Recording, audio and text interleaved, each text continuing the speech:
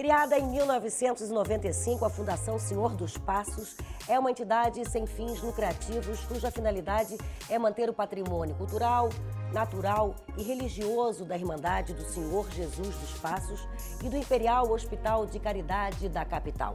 Localizada em um casarão histórico construído em 1850, juntinho ao hospital, a casa de mais de 170 anos já teve muitas funções ao longo desses dois séculos. Serviu como enfermaria, abrigo para leprosos, lavanderia, dormitório das enfermeiras, creche, auditório, entre outras. Por necessidade de manter o casarão em pé, ele passou nos últimos anos por uma grande reforma. Esse ano, a obra ficou pronta, ou quase pronta. E lá abriga um grande acervo com peças antigas do hospital, objetos doados, fotografias, peças religiosas que pertencem à Irmandade do Senhor Jesus dos Passos. E o próximo passo é preparar para receber visitantes como o Museu Fármaco Hospitalar, com mais de duas mil peças de acervo histórico. Nossa convidada de hoje faz um trabalho incansável para zelar por esse patrimônio e servir à comunidade. Eu converso hoje com a enfermeira, administradora, bacharel em Direito, Rita Peluc, presidente da diretoria executiva da Fundação Senhor dos Passos. O Mulher em Foco está começando. Fique com a gente.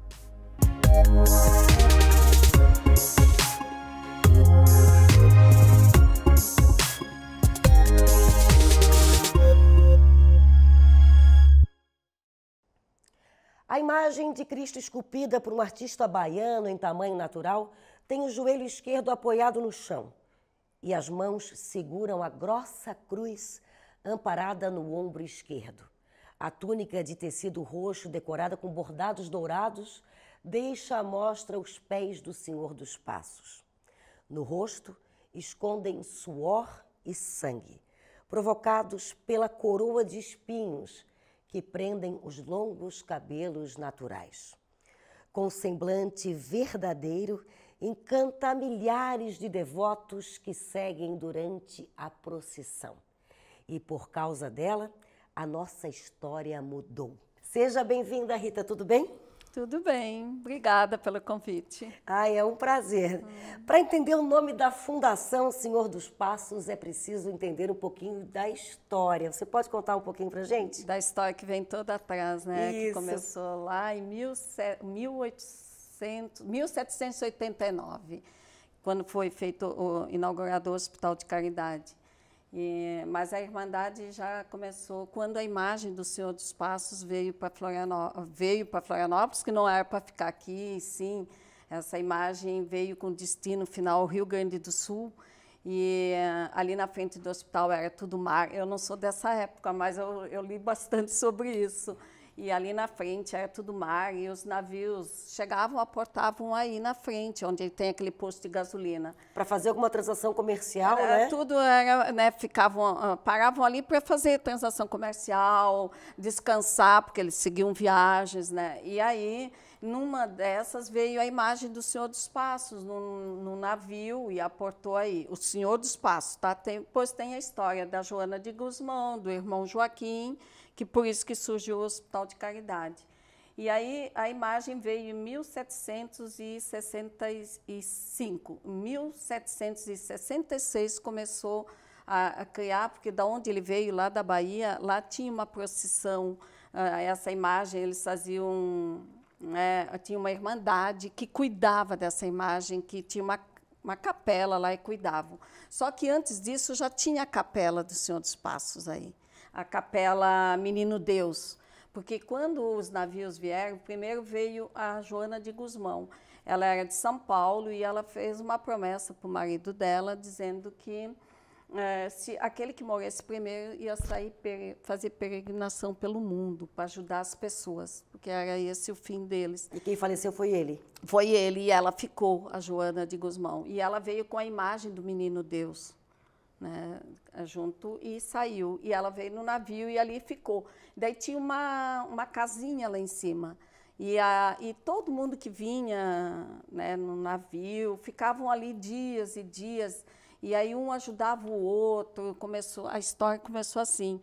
E a, aí, essa, pô, é aqui no alto, né? Vamos construir uma capelinha, uma igrejinha para o menino, para botar o menino Deus, que a Joana de Guzmão tinha. E aí começaram a fazer a capelinha. As pessoas que ficavam ali, morando ali na, naquele... Era um pavimento, assim, eles contam, eu li a história também. E aí tinha muita gente que não tinha como seguir viagem, então ficou ali. E aí essas pessoas trabalhavam para poder se sustentar e pescavam, sei lá, se ajudavam. Não sei bem contar como é que eles sobreviviam, mas eles começaram a trabalhar ali. E a Joana de Guzmão começou a fazer um trabalho de caridade, por isso que o Hospital de Caridade, ajudar as pessoas. E muita gente ficou doente naquela época, existia muita doença, né? E aí ela disse, pô, eu vou ter que fazer uma enfermaria aqui. Porque em São Paulo ela conhecia isso. E aí ela começou uh, sair pedir ajuda e construir uma ala tipo hospital. E aí todo mundo que precisava, trabalhava ali, já ficava, dormia ali, era a hospedagem das pessoas era ali, e assim foi crescendo. Então, o que dá para entender que hoje nós temos um hospital ah, contornando uma capela, né? É, Na verdade, mesmo. não, a capela não está ali só por causa que já existia o hospital, não, ao contrário. Não, ao contrário, ao começou contrário, a capela. ela já estava ali. É. Isso, e essa escultura que, que foi feita por um artista baiano na época, ela ia para a cidade é, de Rio Grande, no Rio Grande do Sul. Sul. E parou por aqui e não conseguiu sair, né? não, não permitiu que saísse. E foi ficando. Parece que era para ficar, né?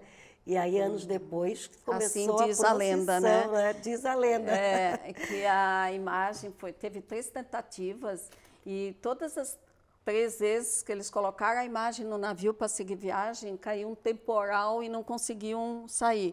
Dias depois tentavam de novo outro temporal. E assim, ah, o pessoal do navio tudo falou, não, então ela não vai mais embora, vai ficar aqui. E aí a imagem, até arrepia, sabe? Ah, e a imagem ficou. E, a, e, como tinha uma capela, eles colocaram a imagem lá dentro e deixaram lá. Daí as pessoas começaram a visitar os doentes, faziam promessa, pediam. Então, ali que começou toda a história. E, e, e daí eles foram. A comunidade, na época, começou a estudar né, a história do Senhor dos Passos lá na Bahia, e existia essa procissão. Aí eles começaram a criar uma comunidade, a Irmandade, e, e ficou a Irmandade hoje é a dona, a proprietária de todo aquele patrimônio lá e do hospital, pela história que eles foram construindo. Então, tem, é uma história muito bonita, assim, uh, vendo uh, como eles lutaram para ter o hospital, atender os necessitados na época. E hoje em dia ele tem, tem, tem convênio, mudou tudo, mas na época era bem difícil. Tudo cresceu, assim. né? E é maravilhoso conhecer é. também a história, a nossa história também. E entender as nomenclaturas, né, em função de tudo isso que aconteceu. Uhum. Ô Rita, você trabalhou no hospital durante 24 anos como enfermeira, né? E se aposentou como enfermeira no Hospital de Caridade. Na verdade, eu entrei como enfermeira em 1990. E depois do incêndio, eu fui administrar o hospital. Em 98, eu entrei na administração do hospital e fiquei ah, na administração do hospital até 2014, ajudando a Irmandade. Eu que assessorava em tudo. Foi assim um desafio muito grande. Você estava bem no período né, desse incêndio, é, né, na metade dos anos 90. Você estava lá? Uh, da, depois do incêndio, a gente ia ao Hospital das Cinzas, de enchente, porque desmoronou aquele morro tudo dentro do hospital. Foi assim uma desgraça só. E uh, era à noite, o, tanto o incêndio quanto o, o, desceu assim, caiu tudo dentro as do encostas caíram em cima. É, veio tudo para dentro do hospital, as pedras. Aí foi uma duas reconstruções assim braba e a gente pegou o hospital também numa dívida muito grande. É, o hospital tinha uma dívida, porque a, a, equipe que trabalhava antes de a Irmandade assumir, e eu, eu junto com a Irmandade, em, em 98, o hospital tinha muita dívida, porque tinha uma equipe que administrava o hospital e eles. Hum, tipo uma quadrilha, assim. Então, né, ganhavam, no, faziam daquilo um, um, comércio, assim. E aí a gente assumiu e tocou e foi, olha, de chorar, de pegamos assim do zero. Essa Mas é a, gente Rita, botou né? ele botou para cima, o hospital foi reformado rapidamente. Foi. Em seis Você meses a gente abriu tudo? as portas depois do incêndio e recebeu os funcionários de volta que estavam nos hospitais públicos no- do governo trabalhando para poder sobreviver, que não tinha como deixar famílias e famílias de- de, eh, sem receber e sobreviver. A- Em seis meses a gente abriu 148 leitos de volta no hospital. E lá estava a Rita, né, enfermeira, é, fazendo captação de recursos, gestão financeira, administrando aquilo tudo que estava acontecendo. Que maravilha, né? Subiu no sangue, sabe? Porque você, quando você ama uma coisa, você luta, né? E era assim, nossa, eu saía de porta em porta, pedia ajuda e a gente conseguiu Ah, resgatar que o hospital. maravilha. E no ano seguinte surgiu, né, foi criada a fundação. Como é que você começou a participar da fundação, Senhor dos Passos? Então, em 1995, o incêndio foi em 94, em 1995 surgiu a fundação para começar a captar recursos para ajudar a Irmandade eh, a né, poder comprar equipamento para o hospital, fina- fazer financiamento, porque a Irmandade não, não podia fazer essa captação de recursos. Daí a fundação começou, junto com a Celesc e outras em-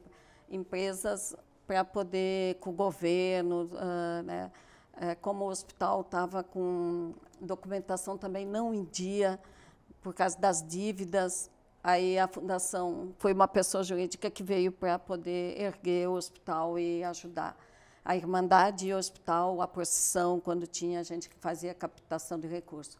Mas eu entrei na, na, na, na fundação, abracei mesmo a fundação em, no- em 99. 98 eles, ah, aí eu ainda eu estava entrando na administração do hospital e tinha que salvar o hospital. E nesses 24 anos também não, não saiu mais e continua ali como guerreira, né? então, em 99, eu entrei para a Irmandade, comecei a ajudar na procissão, captar recursos para fazer a procissão, que a Irmandade também tinha que buscar esse recurso. E aí eh, eu peguei, a- abracei a fundação. E aí eu ia atrás, usava o nome da fundação, mas tinha uma, um, os, os fundadores da fundação, ah, né, eles ah, eram mais fechados, assim, era um grupo que né, tá, ah, tinha a diretoria, mas eu não fazia parte da diretoria, eu fazia de voluntária mesmo, para ajudar pelo hospital, para salvar o hospital, a Irmandade e ajudar, buscar recurso. Mas a, a, eu assumi a presidência da fundação por diversas vezes, desde 2008 assim, fui presidente, daí saía, outro assumia, daí eu voltava, mas eu continuava né? fazendo todo o trabalho, eu, eu que fazia, a pessoa só era o presidente, porque eu não podia ficar tantos Sim. anos. E, e a sede da fundação, já que tinha que ter uma sede, era aquele casarão ali. Aquele casarão foi doado pela Irmandade para a fundação, quando foi criada a fundação, para guardar o acervo que vai ser o nosso museu farmaco-hospitalar, que está sendo já, né? E a sede da fundação. Então, um casarão do século XIX, foi é de 1857, é um, um casarão antigo ah, tombado patrimônio pelo município e tem uma, ah, com muito cuidado na esfera estadual e logo vai ser também pela esfera estadual tombado patrimônio, pelo museu. Né? E assim, é- e é um casarão lindo, né? Ainda mais, ainda mais arrumado, né? Você falou da procissão, é, eu lembrei também que a procissão também, hoje, né? Ela tem, ela é um patrimônio imaterial é, Cultural do brasileiro, Brasil. cultural do Brasil, né? Antes era estadual. Em e 2018, hoje- ela recebeu o, o título, né, o registro como patrimônio imaterial, ma- patrimônio imaterial cultural do Brasil.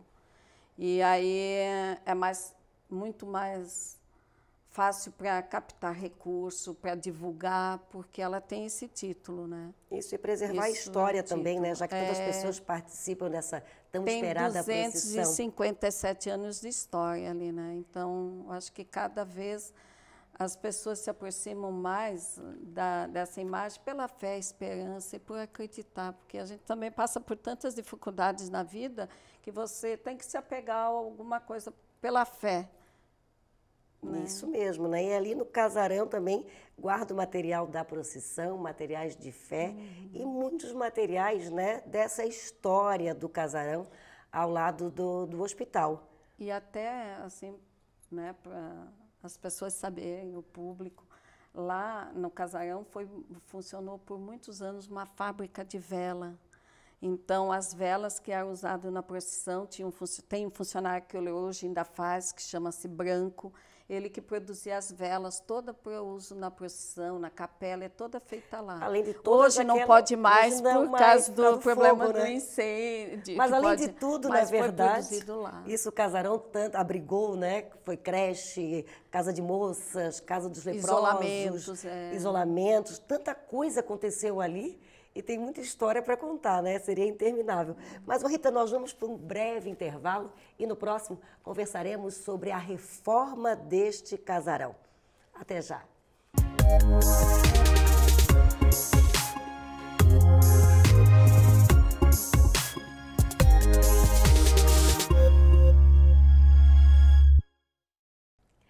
Seguimos o Mulher em Foco conversando hoje com a presidente da diretoria executiva da Fundação Senhor dos Passos, Rita Perucchi. Falávamos a princípio da história do Hospital de Caridade na capital de Santa Catarina e falávamos agora sobre a reforma, como teve a ideia de um casarão que está ali ao lado do hospital. Ele foi reformado recentemente e essa ideia da reforma foi uma necessidade, né? O casarão estava precisando muito. o que estava acontecendo no casarão ao ponto de precisar fazer uma grande reforma nele? Então, ele estava meio que abandonado, né? Porque a, quando foi criada a fundação, ela se preocupou em mais captar recursos para ajudar o hospital e a Irmandade, a procissão. E o casarão ficou abandonado e nós somos fiscalizados pelo Ministério Público. E o Ministério Público começou a cobrar muito da reforma desse casarão, porque ele estava cheio de cupim, chovia dentro, a gente tinha uma sede e não tinha ao mesmo tempo. Né? E ali também a gente a, a, dava guarda para mais de duas mil peças que foram guardadas de todo o funcionamento do hospital, de duzentos e poucos anos, essas peças estavam ali e que precisavam guardadas. de cuidado, né? Isso, então e tinha que dar um, um conservação e, e, a gente não tinha recurso, não tinha recurso e o Ministério Público cobrando e, e o IPUF cobrando que tinha que. Mas isso foi lá mais ou menos em 2014, 15? Foi em 2010, 2011, 12, 13 e assim foi. Daí foi chamamos a equipe de, da Ornato para fazer o trabalho de projeto. Aí ia no IPUF todo mês e discutia isso e, e fomos trabalhando e fomos buscando. Conseguimos dar entrada num projeto no, na Lei Rouanet, conseguimos captar recursos, teve vários apoiadores, graças a Deus a gente agradece muito aos apoiadores que nos ajudaram e uh, restauramos a casa. Então, primeiro tinha que restaurar a casa, é, é, a gente sempre pensou em fazer o museu daquelas peças lá, mostrar para o público como foi toda a ah, um saúde. Um casarão antigo precisando de uma grande reforma. reforma. Peças uhum. doadas pela população também estavam é. lá dentro, peças de hospital, né, que mudou Muitas. muito né, a medicina nesses últimos é, 100 Na, anos. A saúde, né? Porque a lá é o, o, Museu Farmaco Hospitalar, que vai abrir, a, a Fundação Senhor do Espaço vai abrigar, é o primeiro museu com as características da saúde. Então, ele tem a farmácia, a medicina, a, a enfermagem, o, toda a área de cirurgia, raio-x, hemodinâmica, todo esse, então é a saúde em si, todo, tudo que foi usado há 200 anos no hospital, uh, todo ele para dar uma assistência ao paciente, foi guardado esse material. Não todos, porque não tinha como, não mas como. os principais a gente guardou e cuidou disso.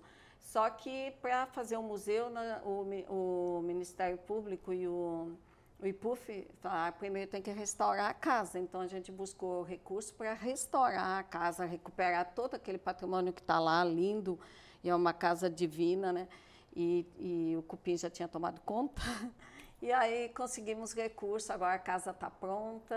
Agora que maravilha. Ô, Rita, nós vamos chamar uma matéria do dia que a casa foi entregue, né? Já um grande passo, né? Para daqui a pouco o museu estar em funcionamento. Vamos lá? O Museu Farmaco Hospitalar está instalado junto à sede da Fundação do Imperial Hospital de Caridade.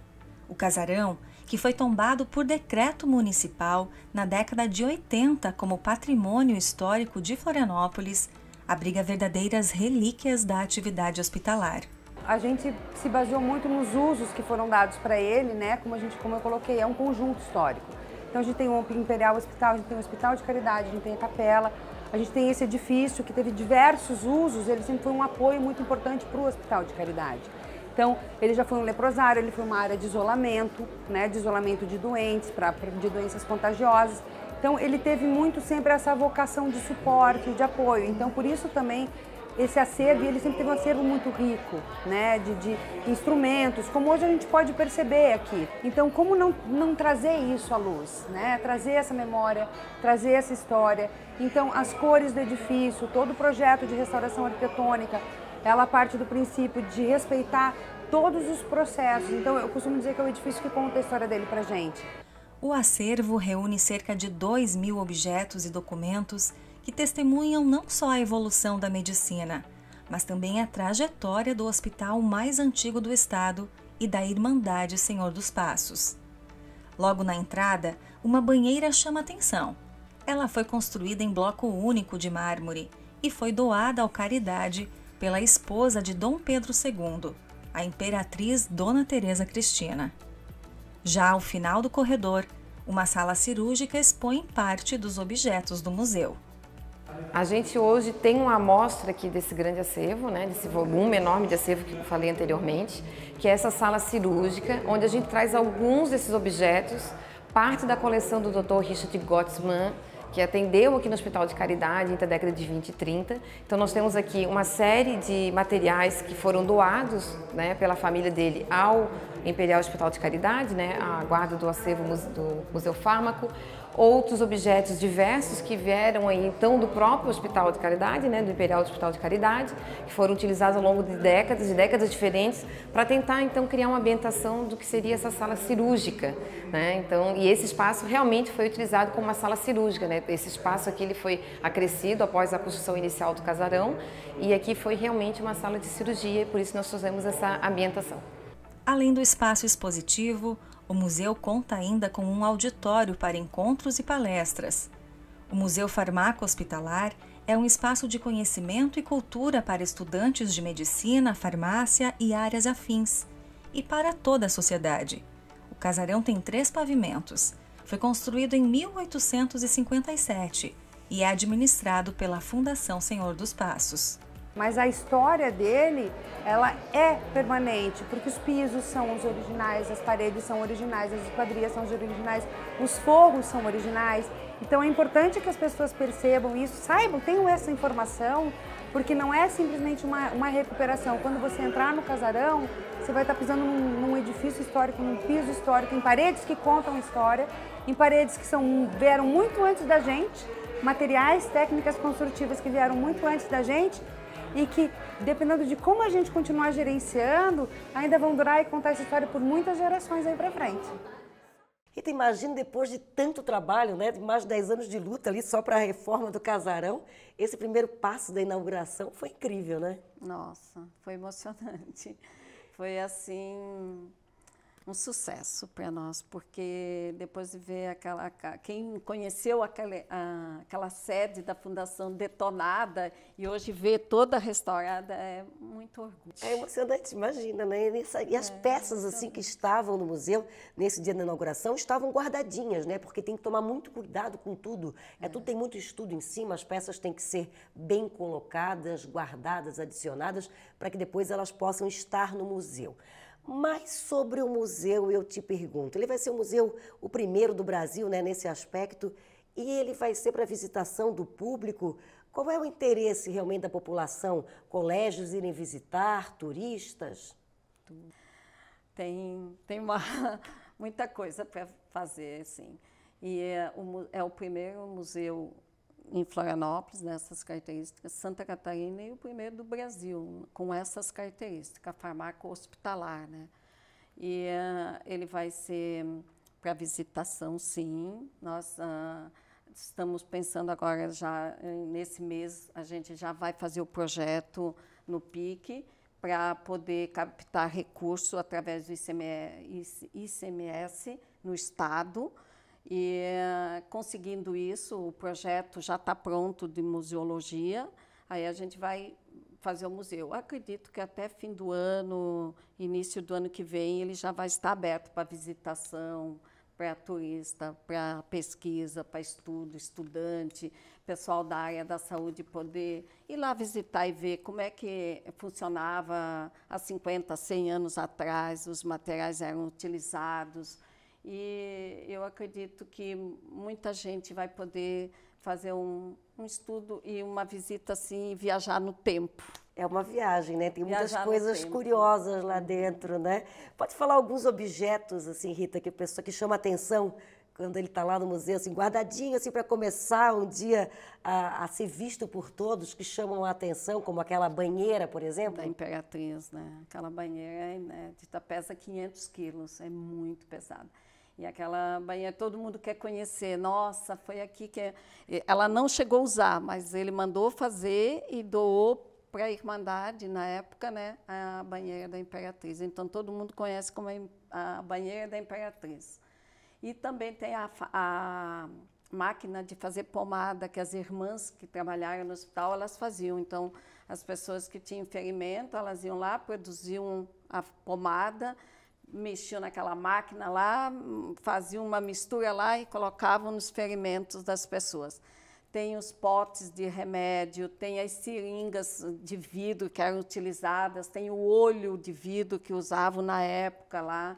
Então, quem precisava de cirurgia ou era, uh, né, teve um problema de cegueira e botava um olho de vidro, tem uns seis partes de olho de vidro serote, como eram feitas as cirurgias de ortopedia. Então, tem material muito rico lá para a pessoa uh, pesquisar, estudar, visitar, conhecer. Eu acho que não é só estudante da área da saúde. Uh, as crianças do primário, do segundo grau, ter, podem ir visitar porque vão conhecer uma, uma história lá. Então, é um casarão, um casarão reformado, lindo outra vez, e futuramente, ou muito em breve, um museu, né, contando a história né, de tudo isso, da medicina, da farmácia, como mudou tudo isso. Gera curiosidade, não é. só para quem é da área da medicina, mas para visitantes em geral.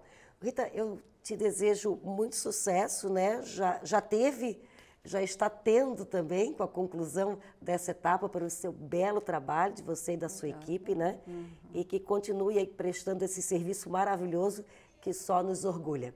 Muito obrigada. Nós obrigada. ficamos obrigada por aqui. Obrigada por essa oportunidade e fica, né, aqui quem tiver interesse em visitar pode ligar para a gente para fazer a visita.